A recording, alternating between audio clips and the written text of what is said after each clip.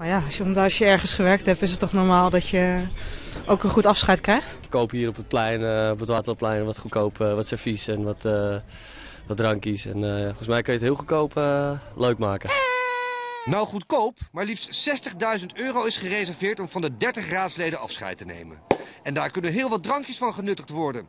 Oud-raadslid Henk Griffors diende bij de burgemeester een voorstel in voor één gezamenlijk en daardoor goedkoper afscheidsfeest. Namelijk één afscheid voor alle gemeenteraadsleden.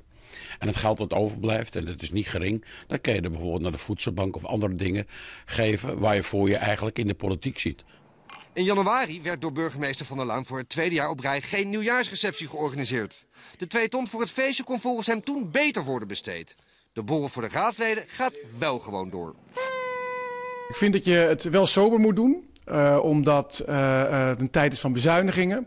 Tegelijkertijd, de raadsleden hebben zich allemaal vier jaar keihard ingezet voor de stad. Of acht jaar of zelfs twaalf jaar keihard ingezet voor de stad. Dan mag je ook op een nette manier afscheid nemen.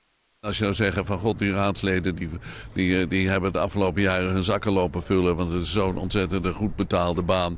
Dan mag je het van je eigen uh, onkostenvergoeding doen. Dat is bij de gemeente ook niet het geval. Maar als je dan afscheid neemt, dan mag het wel ietsje kosten. Het ligt eraan wie ze uitnodigen. Als ze een aantal mensen uitnodigen die het nodig hebben om een keer extra borrel en hapjes te krijgen. lijkt me een heel goed initiatief. Maar alles zelf opeten wordt dus ook misselijk. Doen we niet.